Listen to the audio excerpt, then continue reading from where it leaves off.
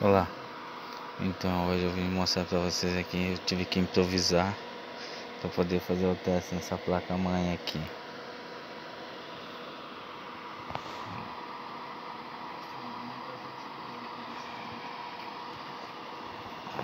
Para começar eu tive que improvisar essa chapinha aqui, ó.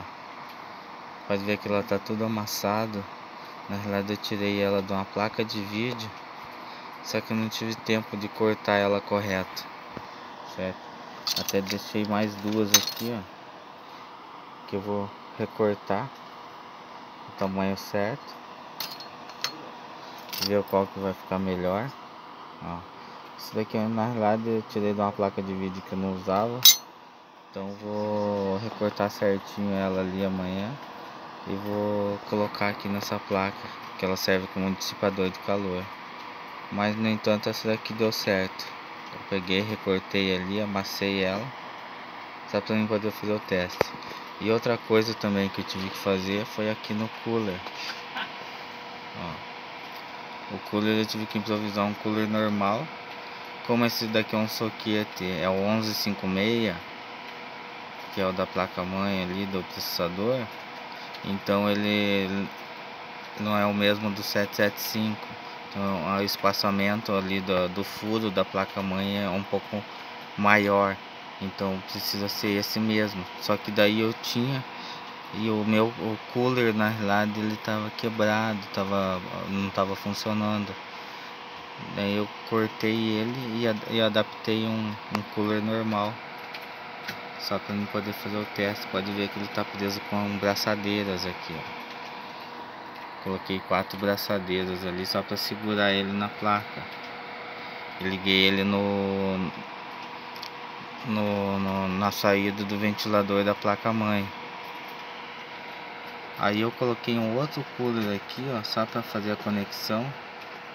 Pode ver que tem outros ligados ali. Só para mim fazer o teste, para ele não dar interferência, tipo assim, para ver se... Porque às vezes ele podia não ligar a placa, né? Ele não tava ligando. Não sei se era por causa disso ou não.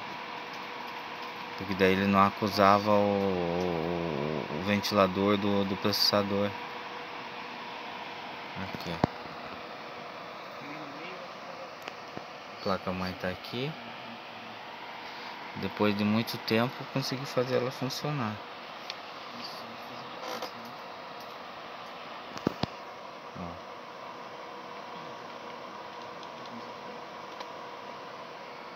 Vocês verem aqui. É um i5 750. Tá com 6 GB de, de memória.